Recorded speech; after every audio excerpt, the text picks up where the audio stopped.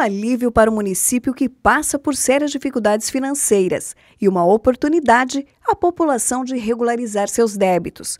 O vereador Edílio Dallagnol enviou ao Poder Executivo um pedido para que a administração enviasse à Câmara um projeto de lei complementar tratando sobre o Refis, Programa de Recuperação Fiscal de Foz do Iguaçu.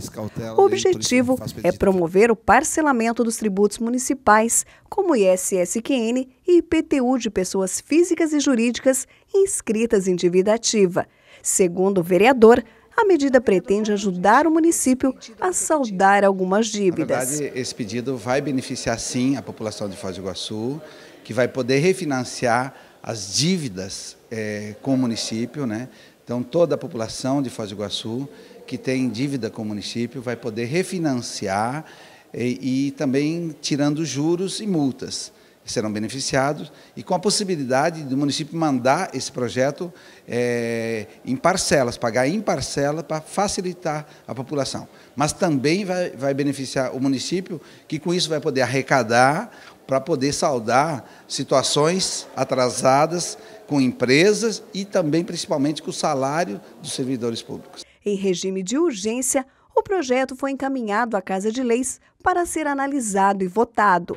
A prefeita interina Ivone Barofaldi disse que o parcelamento beneficiará tanto o setor empresarial quanto o cidadão, para que possam quitar seus débitos. Já o município tem interesse em receber para que possa honrar alguns compromissos. Nós precisamos muito fazer esse refis porque nós temos muito acumulado de dívida. A dívida está alta. Muitas pessoas têm nos procurado pedindo fazer esse refis que teriam condições de quitar.